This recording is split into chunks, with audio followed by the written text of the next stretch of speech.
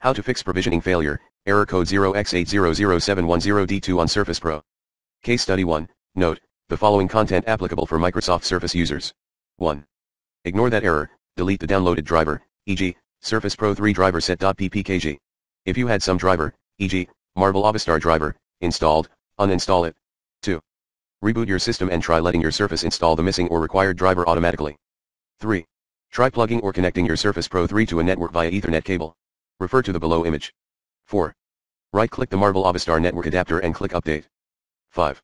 Get Surface Pro 3 underscore Win 10 underscore 160128 underscore 2.msi at https colon slash slash goo.gl slash 5fnuqt as the admin user. 6. After you run the MSI, restart your Surface. 7.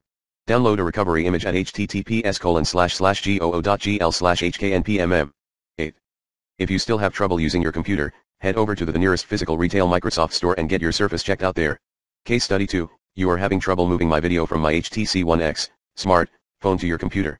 Workaround, transfer files from phone to external hard drive or removal device, then import those file into your computer using the same device.